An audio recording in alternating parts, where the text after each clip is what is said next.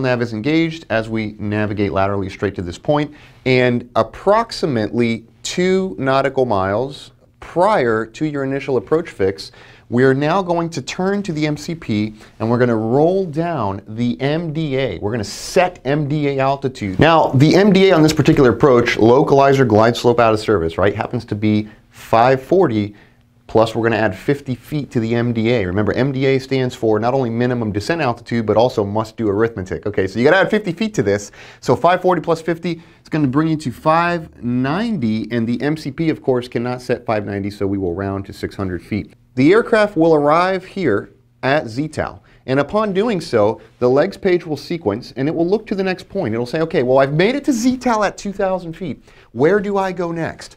And the next point is going to be EBI at 1,500 feet.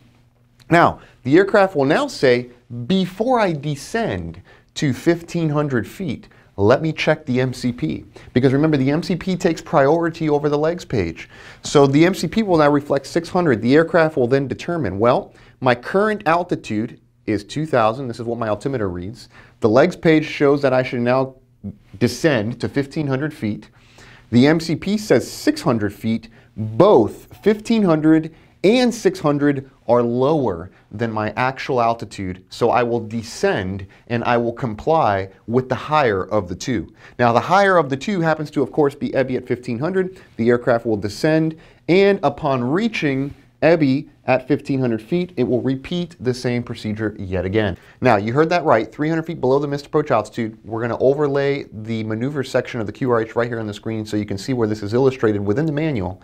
And once more, let's make sense of this setting of the missed approach altitude 300 feet below the missed approach altitude. See, let's say your missed approach altitude happens to be 4,000 feet, which happens to be the case here in Kennedy, runway 4 right.